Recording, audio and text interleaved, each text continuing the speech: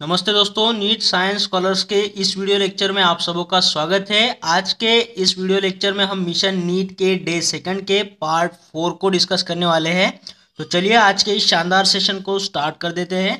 देखिए, हम इसमें रेडॉक्स इंडिकेटर्स को पढ़ने वाले ये एग्ज़ाम पॉइंट ऑफ़ व्यू बहुत इंपॉर्टेंट पॉइंट है दोस्तों।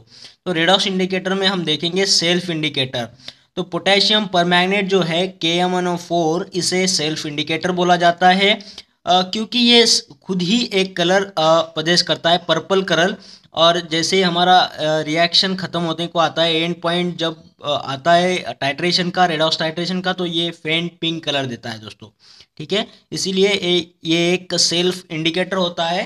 तो इसे भूलना नहीं है सेल्फ इंडिकेटर के एग्ज़ाम्पल में पोटेशियम परमैग्नेट को। तो ये जो पोटेशियम परमैग्नेट इंडिकेटर है, वो टाइट्रेशन ऑफ़ ऑक्जेलिक एसिड में इस्तेमाल होता है। ऑक्जेलिक एसिड देखिए C O O H C O O H इसका फॉर्मूला होता है ऑक्जेलिक एसिड का। फिर ये सेल्फ इंडिकेटर करके यूज़ होता है K M N four titration of ferrous ammonium sulphate ferrous वाले कंपाउंड में इसे इस्तेमाल किया जा सकता है। नेक्स्ट बात करेंगे हाइड्रोजन परऑक्साइड के टाइट्रेशन में भी ये सेल्फ इंडिकेटर करके काम करता है के एम एन फोर ठीक है? तो सेल्फ इंडिकेटर का एग्ज़ाम्पल भूलना नहीं है पोटेशियम परमैग्नेट देखिए ये जो होता है ना, ये पोटेशियम परमैग्नेट में देखिए मैग्नीज की जो ऑक्सीडेशन स्टेट होती है वो प्लस सेवन होती है और वो जब रिड्यूस हो जाता है, उसका रिडक्शन होता है तो वो प्लस फोर में आता है। तो इस कंडीशन में ये पर्पल कलर देगा और जैसे ये कलर आएगा तो फेंट पिंक कलर देना स्टार्ट करेगा दोस्तों। ठीक है? तो यहाँ पे हमें ध्यान में रखना है, ये सेल्फ इंडिकेटर है, ये खुद का रिडक्शन कर लेता है और ये पर्पल कलर से फेंट पिंक कलर में हमें एंड पॉइंट देता है और इससे हम टाइट्रेशन कर पाते हैं oxalic acid ferrous ammonium sulphate जैसे कंपाउंड और हाइड्रोजन परऑक्साइड जैसे कंपाउंड ठीक है? तो चलिए नेक्स्ट इंडिकेटर को देखते हैं, इसमें स्पेसिफिक इंडिकेटर को देखेंगे हम और स्पेसिफिक इंडिकेटर में आते हैं स्टार्च और थायोसाइनेट देखो, इसे स्पेसिफिक क्यों बोला गया है? तो ये स्टार जो है, वो आयोडीन के साथ में अपना एक स्पेसिफिक कलर देता है डीप ब्लू कलर देता है। और थायोसाइनेट में बात करेंगे पोटेशियम थायोसाइनेट अमोनियम थायोसाइनेट जैसे कंपाउंड की तो ये फेरिक वाले कंपाउंड के साथ में एक स्पेसिफिक कलर देते हैं, जो रेड कलर मिलेगा दोस्तों, है ना? तो इसलिए ये स्पेसिफिक इंडिकेटर्स के क्लास में आएगा। नेक्स्ट हम बात करेंगे इंडिकेट इंटरनल इंडिकेटर्स की। तो इंटरनल रेडॉक्स इंडिकेटर में आता है, ये अमाइन अमाइन डाइफिनिल अमाइन का यहाँ पे स्ट्रक्चर देख सकते हैं। ये दो फिनिल है अमाइन को अटैच हुए। तो डाइफिनिल अमाइन जो है, वो अपने रिड्यूस्ड फॉर्म में कलरलेस होता है और ऑक्सीडाइज जब हो जाता है तो ऑक्सीडाइज फॉर्म में ये डीप वायलेट या फिर डीप ब्लू कलर देता है दोस्तों। ठीक है?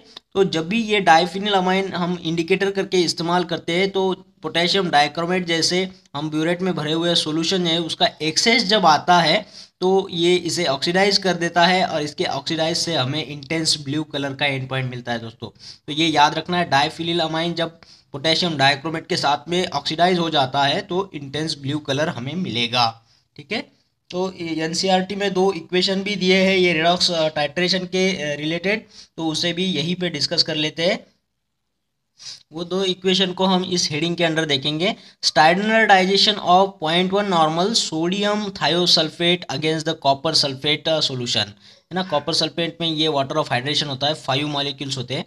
तो इसका हम स्टैंडर्डाइजेशन करने वाले हैं सोडियम थायोसल्फेट का कॉपर सल्फेट के इस्तेमाल से। तो यहाँ पे देखिए क्या होता है, पहले तो पोटेशियम आयोडाइड लेना है जो कॉपर सल्फेट के साथ में रिएक्ट हो करके आयोडीन को फ्री करता है है ना? ये दोनों अगर साथ में आएँगे तो इसमें से आयोडीन जो है वो फ्री निकलेगा। जिसमें हम स्टार्च एज ए इंडिकेटर डाल के इसका ब्लू कलर होता है तो उसे टाइट्रेट करेंगे सोडियम थायोसल्फेट के अगेंस्ट में। जब तक कि ये ब्लू कलर कलरलेस ना हो जाए, वही इस टाइट्रेशन का एंड पॉइंट होगा, जिसके बाद में कैलकुलेशंस होते हैं, उससे हम निकाल सकते हैं इसका स्टैंडर्डाइजेशन ठीक है तो यहाँ पे ये दो रेडॉक्स रिएक्शन दिए हुए हैं, इसे देख लीजिएगा। ये पहला वाला जो रिएक्शन हमने कॉपर सल्फेट को पोटेशियम आयोडाइड के साथ में मिक्स किया था तो यहाँ पे ये मिक्स होकर के हमें ये प्रोडक्ट देते हैं कॉपर आयोडाइड प्लस आयोडीन जो फ्री में निकलता है दोस्तों फ्री सेट निकलता है। तो यहाँ पे ऑक्सीडेशन स्टेट देखेंगे कॉपर की प्लस टू है और कॉपर आयोडाइड के केस में ये प्लस वन होती है। तो ये ज़ाहिर सी बात है, ये रिड्यूस हो रहा है। ऑक्सीडेशन स्टेट जो है वो कम हो रही है तो कॉपर जो है वो रिड्यूस हो रहा है। और यहाँ पे आयोडीन की देखिए माइनस वन है जो ज़ीरो हो रही है माइनस वन से ज़ीरो यानी उसकी ऑक्सीडेशन स्टेट बढ़ रही है तो ये ऑक्सीडाइज हो रहा है। तो इस तरीके का ये रिडॉक्स रिएक्शन होता है। इसमें आयोडीन को फ्री आ, किया जाता है। तो जो फ्री आयोडीन है वो टाइट्रेट होता है यहाँ पे सोडियम थायोसल्फेट के साथ में। ठीक है, यहाँ पे हम देख सकते हैं सोडियम थायोसल्फेट जो ब्यूरेट में भरा हुआ सोल्यूशन है।